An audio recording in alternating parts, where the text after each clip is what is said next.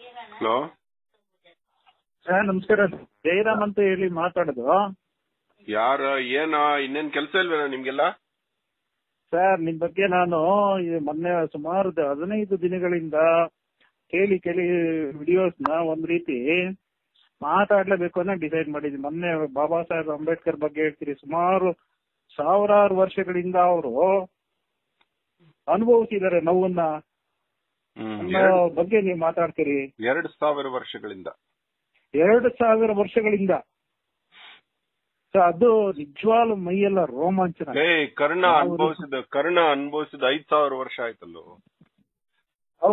ಯಾವ ಕುಲ ಅಂತ ದರ ದ್ರೋಣಾಚಾರ್ಯ. ಕೇಳ್ತಾನೆ ದ್ರೋಣಾಚಾರ್ಯ ಕೇಳಿದಾಗ ನನ್ನದು ಸೂತ ಕುಲ ಸೂತ ಕುಲ ಸಂಜಾತ ಸೂತ ಕುಲ ಸಂಜಾತರ ಎದುರು ನಿಲ್ಲುವ ಅನರ್ಹರು ನೀವು ಅಂತ ಹೇಳ್ತಾನೆ ಕರ್ಣ ಗರ್ಜಿಸ್ತಾನೆ. ಹೌದು ಸರ್ ಹೌದು ಸರ್. ಅದೊಂದೇ ಅಲ್ಲ ಸರ್ ಬೇರೆ ಎಲ್ಲಾ ವಿಚಾರಗಳಲ್ಲೂ ನೀವು ಅಷ್ಟು ಭಾವನಾತ್ಮಕವಾಗಿ ಆಮೇಲೆ ಬಹಳ ಅರ್ಥಗರ್ಭಿತವಾಗಿ ನೀವು ಕೊಡ್ತಕ್ಕಂಥ ಮಾಹಿತಿ ಯಾವ ಒಂದು ಎನ್ಕ್ಲೋಪೀಡಿಯಾದಲ್ಲೂ ಸಿಗ್ಲಿಕ್ಕೆ ಸಾಧ್ಯ ಇಲ್ಲ ಅಂತ ನನ್ನ ಒಂದು ಒಪಿನಿಯನ್ ಸರ್. ಹೇಳು. ಅದೇ ನಿಮ್ಮ ಹತ್ರ ಮಾತಾಡಿ ಇವಾಗ ನನಗೆ ಎಷ್ಟು ನನ್ಗೇನ್ ಮಾತಾ ಒಂಥರ ಎಕ್ಸೈಟ್ ಆಗಿದ್ದೀನಿ ನಾನು. ನಾನು ಜಯರಾಮ್ ಅಂತ ಸರ್ ಬೆಂಗಳೂರಿನವನು. ನಾನು K M F Karnataka milk federation deputy director ಆಗಿ ಕೆಲಸ ಮಾಡ್ತಾ ಇದ್ದೀನಿ. ಸುಮಾರು ಇಪ್ಪತ್ ಹಾ ಓನ್ ಸರ್. ಓಕೆ ಇದ್ರ ಮುಖಾಂತರ ನಾವೊಂದು ಡಿಸ್ಕಸ್ ಮಾಡೋಣ. ಅದು ಜನಕ್ಕೆ ಉಪಯೋಗ ಆಗುತ್ತೆ. ನೋಡಪ್ಪ ನಾನು ನಾನು ಸತ್ಯವನ್ನಲ್ಲದೆ ಬೇರೆ ಏನು ಹೇಳುವುದಿಲ್ಲ ಅಂತ ಹೇಳು ನಾನು ಸತ್ಯವನ್ನಲ್ಲದೆ ಬೇರೇನೂ ಹೇಳುವುದಿಲ್ಲ. ನನ್ನ ಹೆಸರು ಜಯರಾಮ್ ಇವಾಗ ಜನಕ್ಕೆ ಬ್ಯಾಂಗ್ಳೂರ್ ಡೈಲಿ ಡೈರಿ ಮಿಲ್ಕ್ ಬಗ್ಗೆ ಕೆಲವು ಸಂದೇಹಗಳಿದೆ. ಏನು? ಈ ಮಿಲ್ಕ್ ನಾವು ತಗೋಬಹುದಾ ಮೊದಲನೇದಾಗಿ ಇದರಲ್ಲಿ ಕಲುಷಿತ ಇರೋದಿಲ್ವಾ? ಎಷ್ಟು ಪ್ರಾಮಾಣಿಕ ಕುಡಿಬಹುದಾ ಇದನ್ನ ಶೇಖರಿಸಿಡೋ ವಿಚಾರದಲ್ಲಿ ಏನಾದ್ರೂ ಕೆಮಿಕಲ್ಸ್ ಬಳಸ್ತಾರ? ಇಂತ ಅನೇಕ ಸಂದೇಹಗಳಿದೆ. ಪಾಪ ಅವರು ಲೋಕಲ್ ಹಾಲ್ ಅವ್ರ ಹತ್ರ ಹಾಕಿಸ್ಕೋತಾರೆ. ಲೋಕಲ್ ಹಾಲ್ ಅವರು ಕೂಡ ನೀರ್ ಬೆರೆಸೋದಾಗ್ಲಿ ಇಂಜೆಕ್ಟ್ ಮಾಡೋದಾಗ್ಲಿ ಬೇರೆ ಏನೋ ಪದಾರ್ಥಗಳು ಹಾಕೋದಾಗ್ಲಿ ಇದ್ದಿದ್ದೆ. ಹಾಲಿನಿಂದ ತುಂಬಾ ರೋಗಗಳು ಬರ್ತದೆ ಇವಾಗ ಕೆ ಎಂ ಎಫ್ ಮಿಲ್ಕ್ನ ಜನ ತಗೋಬಹುದಾ ಇಲ್ವಾ ಹೇಳಿ ಸರ್ ನೂರಕ್ಕೆ ನೂರು ಭಾಗ ತಗೊಳ್ಬಹುದು ಸರ್. ನೀನ್ ಅದನ್ನೇ ಕುಡಿತೀಯಾ? ನಾನು ಖಂಡಿತ ನಾನು ನನ್ನ ಮಕ್ಕಳು ನನ್ನ ತಂದೆ ತಾಯಿ ತಂದೆ ಇಲ್ಲ ತಾಯಿ ಎಲ್ಲರೂ ಇದನ್ನೇ ಕುಡಿತೀವಿ ಸರ್. ಇವಾಗ ಮಹಾರಾಷ್ಟ್ರ ಹಾಲು ಅಮೃತ ಸರ್. ಹಾಲು ಅಮೃತ ಸರ್. ಅದನ್ನ ಅದಕ್ಕೆ ವಿಷ. ಹಾಕ್ಬಾರ್ದು ಸರ್. ನಿಮ್ ತರನೇ ಮಹಾರಾಷ್ಟ್ರ ಗೌರ್ಮೆಂಟ್ ಅಲ್ಲಿ ಕೂಡ ಮಾನಂದ ಅದು ಇದು ಇದೆ. ಅದನ್ನು ಹೌದು ಸರ್. ಅದು ಕೆಲವನ್ನ ಪ್ಯಾರಾಮೀಟರ್ಸ್ ಚೆಕ್ ಮಾಡ್ಬೇಕಾಗತ್ತೆ ಸರ್. ಕ್ವಾಲಿಟಿ ನಾವು ಹಾಲನ್ನ ಯಾವ ರೀತಿ ಪ್ರೊಕ್ಯೂರ್ ಮಾಡ್ತಾರೆ ಕಲೆಕ್ಟ್ ಮಾಡ್ತಾರೆ ರೈತರಿಂದ. ಅದು ಕೆ ಎಂ ಎಫ್ hygienic ಅಂದ್ರೆ ಕರ್ನಾಟಕ ಏನ್ ಹೇಳಿ? ಕೆ ಎಂ ಎಫ್ ಅಂದ್ರೆ ಹೇಳಿ? Karnataka milk federation sir okay. ಇದು ಗೌರ್ಮೆಂಟ್ಗೆ ಸಂಬಂಧಿಸಿದ್ದಲ್ವಾ? ಹೌದು ಸರ್ ಸರ್ ಕರ್ನಾಟಕ ಸರ್ಕಾರ ನನ್ನ ಅಂಡರ್ಟೇಕಿಂಗ್ ಆಗಿರ್ತಕ್ಕಂಥ ನನ್ನ ಪ್ರಶ್ನೆಗಳನ್ನ ಕ್ಲಿಯರ್ ಆಗಿ ಕೇಳಪ್ಪಿ. ಇದರಲ್ಲಿ ಗೌರ್ಮೆಂಟ್ ಅವರು ನಿಯಮಿಸಿದವರು ಪ್ರೆಸಿಡೆಂಟ್ ಆಗ್ತಾರೆ ಇದಕ್ಕೆ ಒಂದು ಸೆಕ್ರೆಟರಿ ಆಗ್ತಾರೆ ಇದರಲ್ಲಿ ಡೈರೆಕ್ಟರ್ ಆಗ್ತಾರೆ ಡೆಪ್ಯೂಟಿ ಡೈರೆಕ್ಟರ್ ಆಗ್ತಾರೆ. ಇವರು ಒಂದು ವೇಳೆ ಭ್ರಷ್ಟಾಚಾರ ಮಾಡೋದಾದ್ರೆ ಮಿಲ್ಕ್ ಪ್ರಾಡಕ್ಟ್ಗೂ ಇವರು ಭ್ರಷ್ಟಾಚಾರಕ್ಕೂ ಸಂಬಂಧ ಇದೆಯಾ? ಮಿಲ್ಕ್ ಪ್ರಾಡಕ್ಟ್ಸ್ ಇಲ್ಲ ಸರ್. ಬೇರೆ ರೀತಿ ಇದೆ ಸರ್. ಖರೀದಿ ಇದರಲ್ಲಿ ಇದೆ ಸರ್. ನೇರವಾಗಿ ಹೇಳ್ತಾ ಇದ್ದೀನಿ ಸರ್. ಬಟ್ ಇದು ಇದರಿಂದ ಇದನ್ನ ಈ ಆಡಿಯೋ ಬೈಲ್ ಆಗೋದ್ರಿಂದ ನಿಮ್ ಕೆಲ್ಸಕ್ಕೆ ತೊಂದರೆ ಆಗೋದಾದ್ರೆ? ಸರ್ ಖರೀದಿ. ಈ ಸರ್ ನಾನು ಇರೋದನ್ನ ಹೇಳ್ತಾ ಇದ್ದೀನಿ ಸರ್. ನಿಮ್ಮ ಹತ್ರ ನಾನು ಏನ್ ಮಾತಾಡ್ತೀನಿ? ನಿಜವಾಗಿಯೇ ಮಾತಾಡ್ತಿದ್ದೀನಿ. ಇವನ ಹತ್ರ ಡ್ರೀಮ್ ಡ್ರೀಮ್ ಸರ್ ನನಗೆ ಕಳೆದ ಒಂದು ಹದಿನೈದು ದಿವಸದಿಂದ you believe it not sir ರಾತ್ರಿ ಒಂದು ಗಂಟೆವರೆಗೂ ನಿಮ್ಮ ವಿಡಿಯೋ ವ್ಯೂ ಏನ್ ಅಷ್ಟೊಂದು- ಮಾತಾಡೋದು ಪಾರದರ್ಶಕ. ಅವ್ರ ಹತ್ರ ಇದನ್ನ ಫೇಸ್ಬುಕ್ ಅಲ್ಲಿ ಹಾಕಿ ಟೋಟಲ್ ಕರ್ನಾಟಕ ಕೇಳುತ್ತೆ. ಹೌನ್ ಸರ್ ಹೌನ್ ಸರ್ ಆಗ್ಬೋದು ಸರ್ ಆಗ್ಬೋದು ಸರ್ ಆಗ್ಬೋದು ಸರ್ ಓಕೆ ಇನ್ನೊಂದು ಯಾವುದೇ ಎಷ್ಟೇ ಭ್ರಷ್ಟಾಚಾರ ಆಗ್ಲಿ ನಿಮ್ಮ ಮಿಲ್ಕ್ ಪ್ರಾಡಕ್ಟ್ ಮಾತ್ರ ಕುಡಿಯಲು ಅರ್ಹ ಕರೆಕ್ಟಾ ಹೌದು ಸರ್ ನೂರಕ್ಕೆ ನೂರು ಪ್ರತಿಶತ ಅರ್ಹ ಸರ್. ಓಕೆ. ಇನ್ನೊಂದು ಈ ಮಿಲ್ಕ್ ನಮಗೆ ತಲುಪತ್ತೆ ಮನೆಗೆ ಎಷ್ಟು ದಿನಕ್ಕೆ. ತಲುಪತ್ತೆ? ಯಾವತ್ತು ಹಾಕಿರೋ ಮಿಲ್ಕ್ ಯಾವತ್ತು ತಲುಪತ್ತೆ? ಸೊ ಆಲ್ಮೋಸ್ಟ್ ಒಂದು ಟ್ವೆಲ್ ಅವರ್ಸ್ ಆಗುತ್ತೆ ಸರ್. ಟ್ವೆಲ್ ಅವರ್ಸ್ ಅಲ್ಲಿ ತಲುಪಿಡುತ್ತಾ? ರೈತ ಕಲೆಕ್ಟ್ ಮಾಡಿದ ಹನ್ನೆರಡು ಗಂಟೆ ನಾವು ಹೌದು ಸರ್ ಬೆಳಗ್ಗೆ ನಾವು ಮಾರ್ನಿಂಗ್ ಸೊ ಅವನು ನಾಲ್ಕೂವರೆ ಐದು ಗಂಟೆಗೆ ಅವ್ನು ಹಾಲು ಕರಿತಾನೆ. ಹ್ಮ್. So four thirty five o'clock ಇಂದ ಸ್ಟಾರ್ಟ್ ಮಾಡ್ತಾನೆ ಸರ್ ಕೆಲವು ಲಾಂಗ್ ಡಿಸ್ಟೆನ್ಸ್ ಇರ್ತಕ್ಕಂಥ ವಿಲೇಜಸ್ ಸೊ ಅಲ್ಲಿಂದ ಮಿಲ್ಕ್ ಪ್ರೊಡ್ಯೂಸರ್ ಸೊಸೈಟೀಸ್ ಅಂತ ಎಂ ಪಿ ಸಿ ಎಸ್ ಅಂತ ಇರುತ್ತೆ. ಸೊ ಅಲ್ಲಿ ನೀವ್ ಹೇಳ್ದಂಗೆ ಸೆಕ್ರೆಟರಿ ಇರ್ತಾರೆ. ಆತ ಹಾಲನ್ನ ಅಳದ್ಬಿಟ್ಟು ಅದರಲ್ಲಿ ಲ್ಯಾಕ್ಟೋಮೀಟರ್ ಅಂತ ನೋಡ್ತಾನೆ ಟೆಂಪರೇಚರ್ ನೋಡ್ತಾನೆ ನೀರ್ ಹಾಕಿದೋ ಇಲ್ವಾ ನೋಡ್ತಾನೆ. ಆಮೇಲೆ ನಂತರ ಏನಾದ್ರು ನೀವ್ ಹೇಳ್ದಂಗೆ ಫ್ಲೋರ್ಸ್ ಗೋಧಿ ಹಿಟ್ ಮೈದಾ ಹಿಟ್ಟು ಉಪ್ಪು ಸಕ್ಕರೆ. ಸೊ ಇವನ್ನೇನಾದ್ರು ಬೆರಕೆ ಮಾಡಿದಾರ ಅಂತ ಅದ ಆತ ಚೆಕ್ ಮಾಡ್ತಾನೆ. ಹ್ಮ್. ಟೇಸ್ಟ್ ನೋಡ್ತಾನೆ. ಹ್ಮ್. ಆ ಡಿಗ್ರಿ ಇಟ್ಬಿಟ್ ನೋಡ್ತಾನೆ. ಹ್ಮ್. ಆ ಡಿಗ್ರಿ ಏನಾದ್ರು ಇಪ್ಪತ್ತೊಂಬತ್ತು ಮೂವತ್ತು ಮೂವತ್ತೊಂದು ಬಂತು ಅಂದ್ರೆ ಅದು ಸೊ ಅಡಲ್ಟ್ರೇಷನ್ ಆಗಿದೆ. ಏನ ಏನೋ ಶುಗರ್ ಅಡಲ್ಟ್ರೇಷನ್ ಮಾಡಿದ್ದಾರೆ. ಸಾಲ್ಟ್ ಅಡಲ್ಟ್ರೇಷನ್ ಮಾಡಿದ್ದಾರೆ. ಏನೋ ಮೈದಾ ಇಟ್ಟು ಅಡಲ್ಟ್ರೇಷನ್ ಇದನ್ನ ಚೆಕ್ ಮಾಡ್ಬಿಟ್ಟು ಟೇಸ್ಟ್ ನೋಡಿ ಅದನ್ನ ತಗೊಳ್ತಾರೆ. ಸರ್ ನಂತರ ಅಲ್ಲಿಂದ ಒಂದು ಚಿಲ್ಲಿಂಗ್ ಸೆಂಟರ್ಸ್ ಅಂತ ಇರುತ್ತೆ. ಸೊ ಅಲ್ಲಿ ಹೋಗುತ್ತೆ. ಅಲ್ಲಿ within one hour two hours ಅಲ್ಲಿ ಆಗುತ್ತೆ ಸರ್ ಕಲೆಕ್ಷನ್ ಆದ್ಮೇಲೆ. ಓಕೆ ನಿಮ್ಮ ಅಧಿಕಾರಿ ಅಲ್ಲಿ ಕಲೆಕ್ಷನ್ ಮಾಡೋ ಅಧಿಕಾರಿ ಸುಮ್ ಸುಮ್ನೆ ಎಲ್ಲ ಟೆಸ್ಟ್ ಮಾಡಿದೀನಿ ಅಂತ ಬರೆದು ಬಿಟ್ರೆ ಇಲ್ಲ ಸರ್ ಅದನ್ನ ರೆಗ್ಯುಲರ್ ಆಗಿ ಹೋಗಿ ನಮ್ಮವ್ರು ಮಾನಿಟರ್ ಮಾಡೇ ಮಾಡ್ತಾರೆ ಸರ್ ಒಂದ್ ವೇಳೆ ಅವನು ಸುಳ್ಳು ರಿಪೋರ್ಟ್ ಬರೆದ್ಬಿಟ್ಟು ಅಲ್ಲಿ ಏನಾದ್ರು ಸ್ವಲ್ಪ ಆ, ಲಂಚ ತಿಂದ್ಬಿಟ್ಟು ಇದು ಸರಿ ಇದೆ ಅಂತ ಕಳಿಸ್ಬಿಟ್ರೆ? ಅದನ್ನ ಮತ್ತೆ ನಮ್ಮ ಕಿಲ್ಲಿಂಗ್ ಸೆಂಟರ್ಸ್ ಅಲ್ಲೇ ಚೆಕ್ ಮಾಡ್ತಾರೆ ಸರ್. ಬಿಫೋರ್. ಸೊಸೈಟಿ ಒಂದ್ ವೇಳೆ ಹಿಡಿದ್ರೆ ಅವನ ಕೆಲಸ ಹೋಗ್ಬಿಡುತ್ತಲ್ಲ? ಹೋಗುತ್ತೆ ಸರ್ ಕೆಲಸ ಹೋಗುತ್ತೆ. ಆಮೇಲೆ ಎಂಟೈರ್ ಅದನ್ನ ರಿಜೆಕ್ಟ್ ಮಾಡ್ತೀವಿ ಸರ್. ಯಾವುದೇ ರೀತಿ ಅವ್ರ ಪೇಮೆಂಟ್ ಕೊಡಲ್ಲ. Okay okay. ಬಟ್ ತುಂಬಾ ಒಳ್ಳೆ ಇನ್ಫಾರ್ಮೇಶನ್ ಕೊಟ್ರಿ ನೀವು ಈ ಹಾಲಿನಲ್ಲಿ ಕೆನೆ ಎಲ್ಲ ತಕೊಂಡ್ಬಿಡ್ತೀರಿ ಮತ್ತೆ ತುಪ್ಪ ಆಗೋ ಮೆಟೀರಿಯಲ್ನೆಲ್ಲ ಕ್ರೀಮ್ ಎಳ್ಕೊಂಡ್ಬಿಡ್ತೀರಿ ಬರೀ ಸಾರವಿಲ್ಲದ ಹಾಲು ಕೊಡ್ತೀರಿ ಅನ್ನೋ ಮಾತುಗಳು ಬರುತ್ತಲ್ಲ ಅದಕ್ಕೇನು ಉತ್ತರ ಹೇಳ್ತೀರಿ?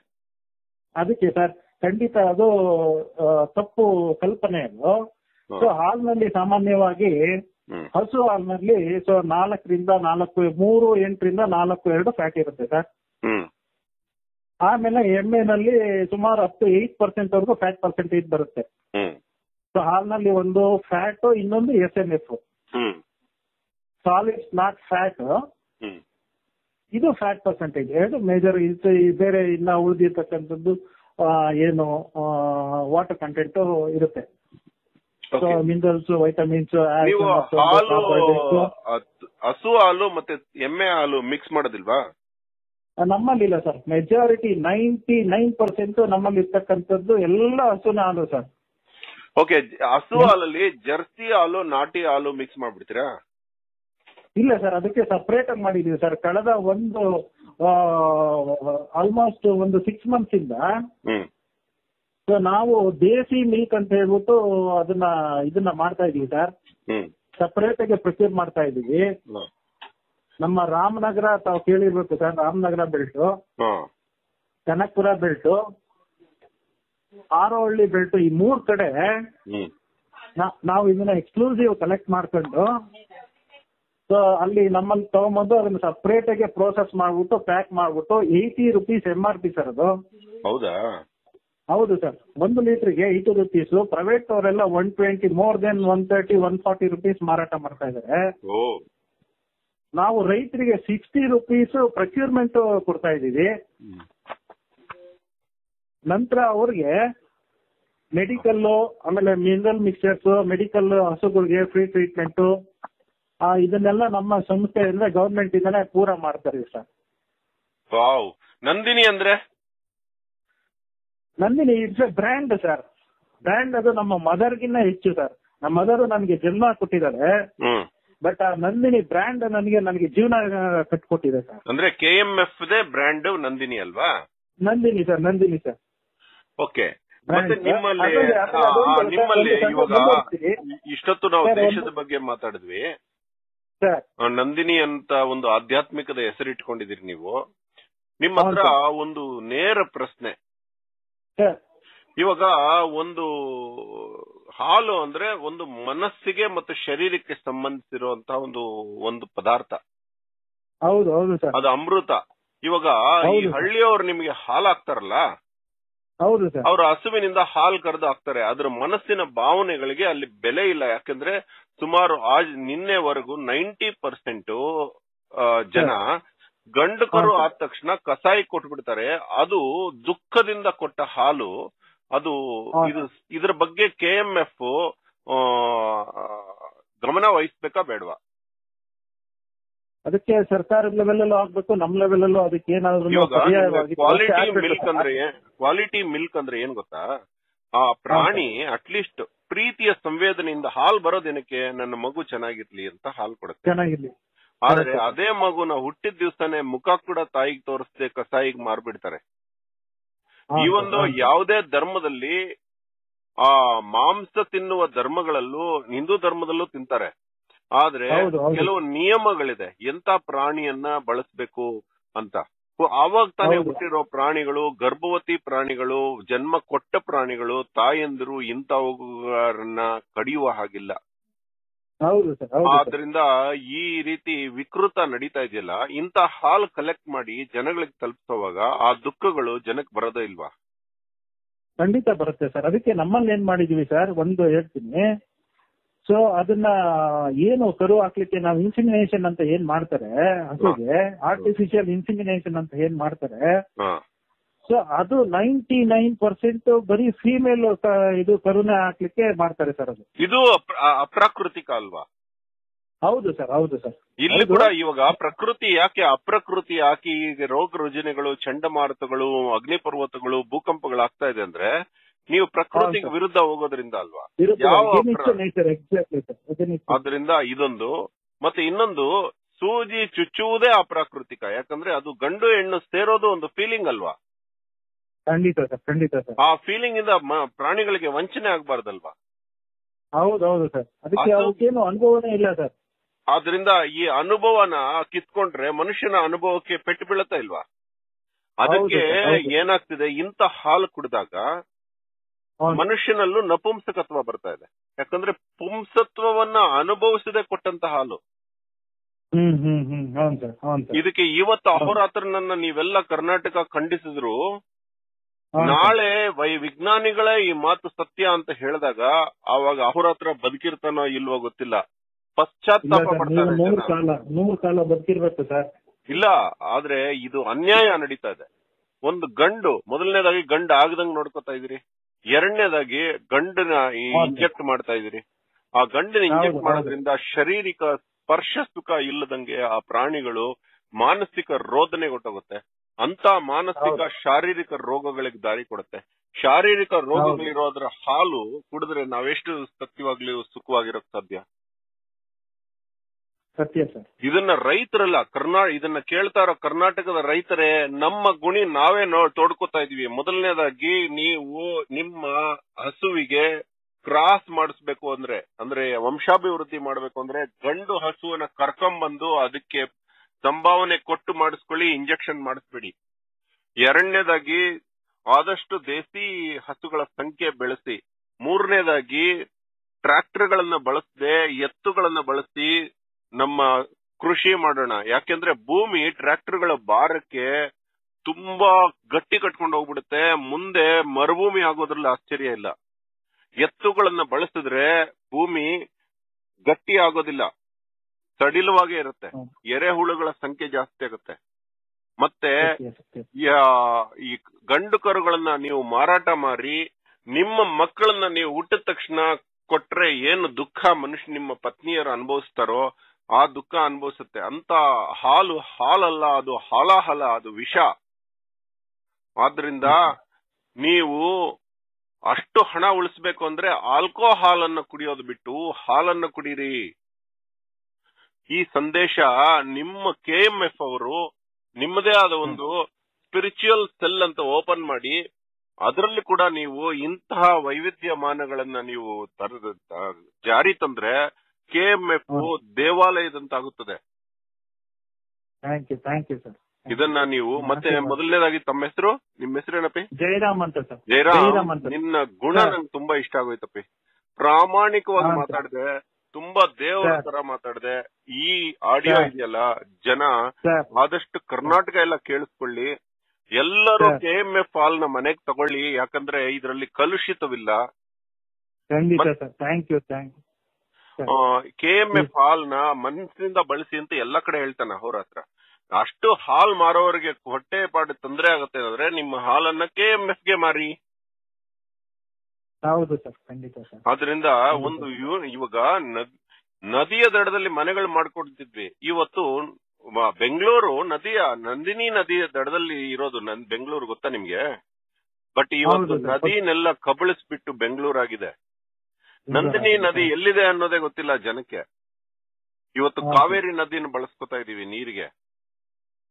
ಆದ್ರಿಂದ ಯಾವಾಗ ಜನರ ಹತ್ರ ನದಿಗಳನ್ನ ಸೆಳೆದು ಸೆಳೆಯೋದು ಜನರ ಹತ್ರ. ಹಾಲು ಸೆಳೆಯೋದು ಬದುಕು ಅಪ್ರಾಕೃತಿಕವಾಗಿದೆ.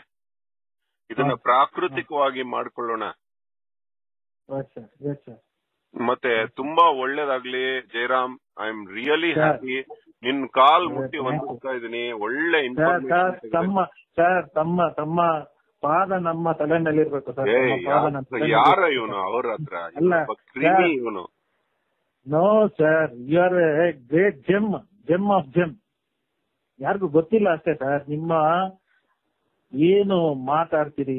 ನಿಮ್ಮ ಅನುಭವ. ಆಮೇಲೆ ಎಷ್ಟು ಜನಕ್ಕೆ ಮೋಟಿವೇಟ್ ಮಾಡಿದಿರಿ ಅಂತ ನಿಮ್ಗೆ ಗೊತ್ತಿಲ್ಲ?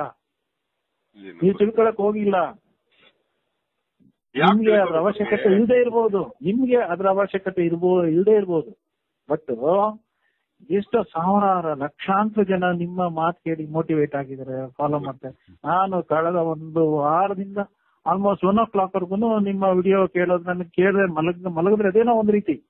ಮನಸ್ಸಿಗೆ ಏನೋ ಒಂಥರ ಸಮಾಧಾನ ಅನ್ನೋದೇ ಕೇಳಿದಾಗ ಕೆಲವು ಮೋಟಿವೇಶನ್ ಥಾಟ್ಸ್ ಹಿಂಗೂ ಇದೆಯಲ್ಲ ಜೀವನ? ಮತ್ತೆ ಕೆಎಂಎಫ್ನ ರಾಷ್ಟ್ರ ಮಟ್ಟದ ಡೈರೆಕ್ಟರ್ಸ್ ಮತ್ತೆ ರಾಷ್ಟ್ರ ಮಟ್ಟದ ನೀವು ಅಧ್ಯಕ್ಷರು, ಇವರಲ್ಲಿ ಅಹೋರಾತ್ರನ ಕಳಕಳಿಯ ಮನವಿ ಏನಂದ್ರೆ, ನೀವು ದೇವರ ಆಶೀರ್ವಾದದಿಂದ ಎತ್ತರದ ಮಟ್ಟಕ್ಕೆ ಬೆಳೆದಿದ್ರಿ ದೇವರು ನಿಮಗೆ ಸಂಪೂರ್ಣ ಒಳ್ಳೆಯ ಪದವಿಗಳನ್ನು ಕೊಟ್ಟಿದ್ದಾರೆ, ಐಶ್ವರ್ಯ ಕೊಟ್ಟಿದ್ದಾರೆ. ಇನ್ನು ಮುಂದೆ ನೀವು ಒಳ್ಳೆ ಕಂಕಣ ಕಟ್ಟಿ ಕೆಎಂಎಫ್ನ ತುಂಬಾ ಎತ್ತರಕ್ಕೆ ಕೊಂಡೊಯ್ತೀರಿ ಅನ್ನೋ ನಂಬಿಕೆಯಿಂದ ಈ ಆಡಿಯೋ ಎಂಡ್ ಮಾಡ್ತಾ ಇದೀವಿ. ಧನ್ಯವಾದ. ಅಹೋರಾತ್ರ ಧನ್ಯವಾದ ಸರ್. ಅಹೋರಾತ್ರ ಅವ್ರಿಗೆ ಧನ್ಯವಾದ sir. Thank you thank you thank you